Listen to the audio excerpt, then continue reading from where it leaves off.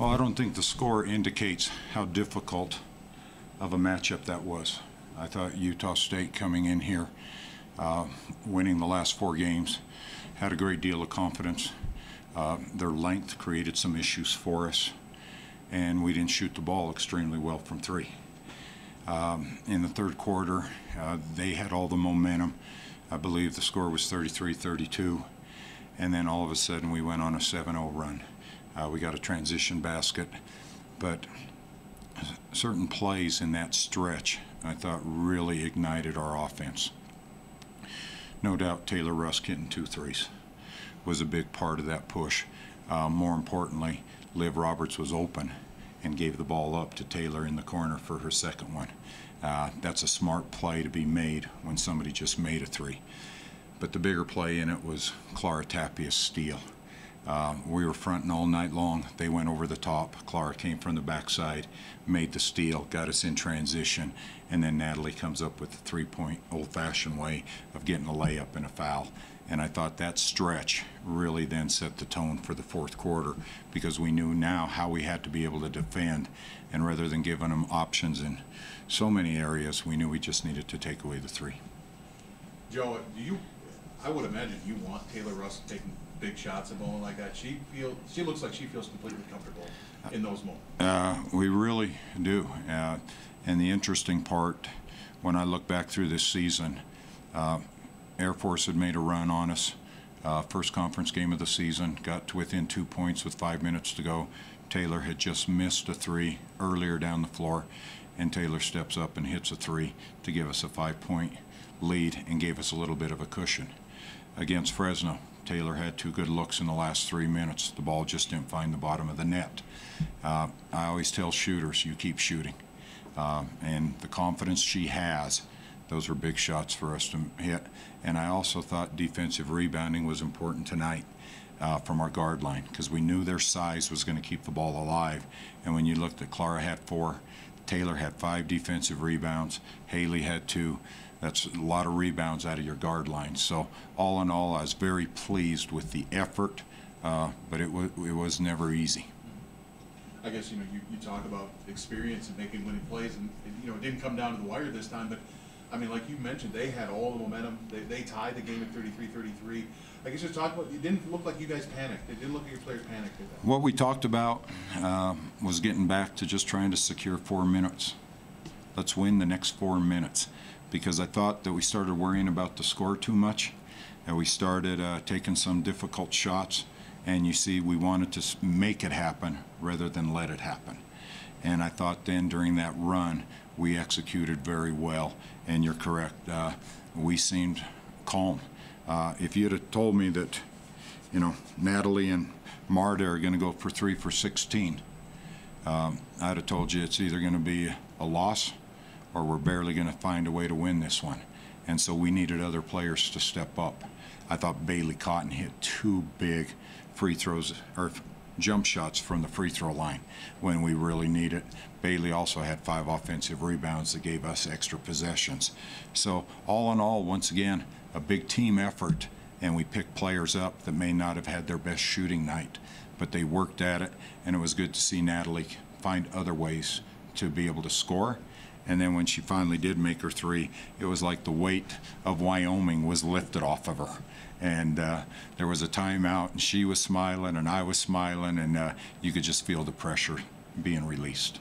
you weren't playing well necessarily offensively, shooting the ball in the third, but are you proud of, you know, focus so much on defense? You, you were still able, despite the fact they came back and tied it, to dig in defensively and not let them get ahead. That's uh, when we talked back in October that that's what we were going to be known for is defending. Um, because one of the things that I thought we were going to really have a tough time scoring some nights. But I knew defensively we could be in some games. We were going to slow the pace down and make runs when we had the opportunity. And so when they closed it down, and for us to give up 15 total points in the second half, I thought was really a mark of how well we played and limited them to one shot and out. And that's the thing come Monday when we sit down and talk. That's going to be the first thing that's going to be addressed is how well we played defensively. And then I thought Clara's big steal. that turned it around, got us running, and we got another basket. And uh, that's important for us to once again know that defensively we can stay in games when probably offensively we're not playing very well. Joe, the slogan is you can't have losing streaks in February. How, how big was it to, to get this one with what you got coming up the last five? You know, we always talk about not looking ahead, but as a coach, I knew how this schedule laid out, uh, what the first nine conference games were going to be like, what the last nine conference games were going to be like. And uh, you have to defend home court. You got to find a way to get the victories here. And when we dropped the game at Fresno, that magnifies this game, knowing you're at Colorado State on Wednesday. And uh, you try to make sure your team just goes and plays. But yet, when you start talking to them, they understand what's going on. The challenge is, is they've never been in this position before. So no matter what they've accomplished, uh, this is all new on them, feeling this kind of pressure, playing towards the end where you have some of the biggest challenges ahead. And so, and then playing a team today that's as hot as anybody was really a big step forward for this group.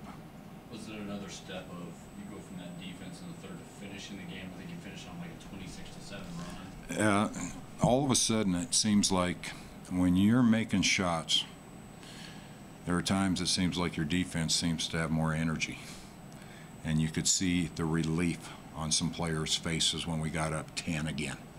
And then you can really dig in because when you talk to Liv, Clara, uh, Bailee, they take a lot of pride in what they're able to do defensively.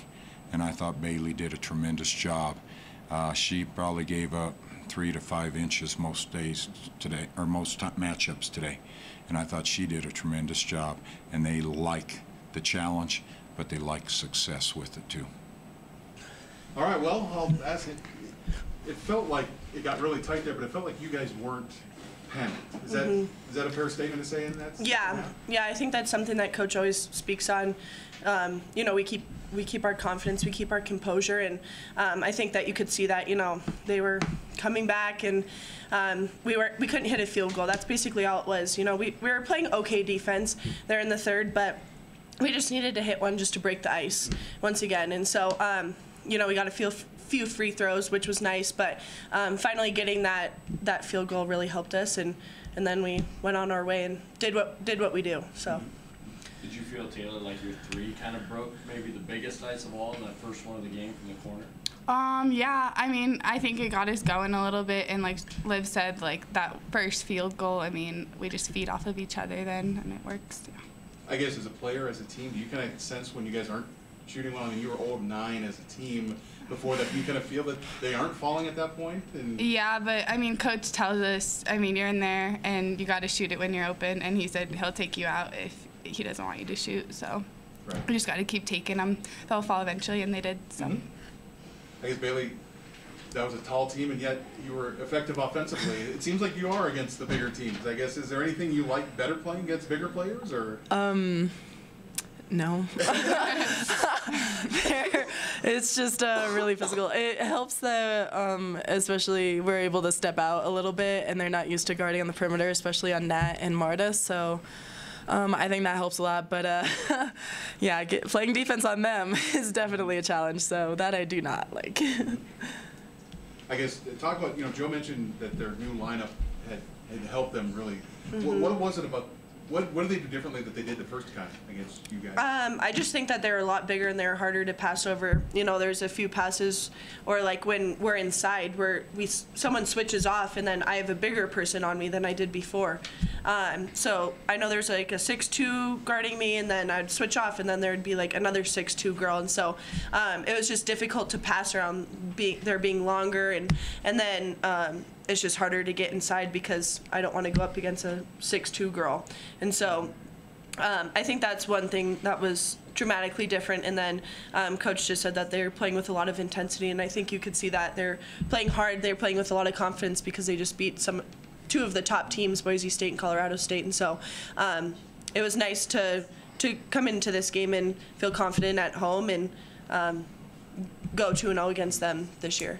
Do you think maybe that third quarter, maybe you did maybe match their intensity right away in that third quarter, and that's when they got a tie? Yeah, yeah. So, you know, they just came out because they had a good end of like last four minutes of the second or the first half, and so we knew that we needed to pick it up on defense, and that's one thing we really spoke on in the locker room, and um, you know, we came out a little bit sluggish, but uh, you know, I don't think it really affected us. We we knew we could make a field goal, and so and we just kept defending and holding a team to 40 points. Really says, you know, that's what we've been working on in practice.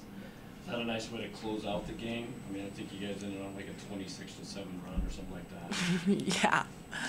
I think it. I think it felt good. Honestly, we um, felt like we were rolling, and I think after those first like five minutes of the third quarter, we really like got back into our groove. They took us out of our game a little bit, and so once we like Liv's free throws and saw the ball go in the basket, like that really helped. Taylor, for you, uh, it feels like you can kind of get lost in the offense a little bit. Did you feel like you were able to find an open spot because they're focusing on Liv and, and some other people? Did, Um, yeah, yeah. I mean, they were switching everything, so it was kind of hard. Um, and like they're, like Liv said, they're bigger, you know, so it's kind of hard to get in the inside. But um, that means bigger girls are on you. So yeah, on the three-point line, it's it's nice. Yeah. Are you comfortable everywhere? Do you like him from the? I mean, I, I don't remember getting three a corner three pointers. Like, did, did you get that line Um. I mean, it doesn't really matter to me. Uh-huh. Um, but if it's open, yeah, I'll shoot it. So yeah.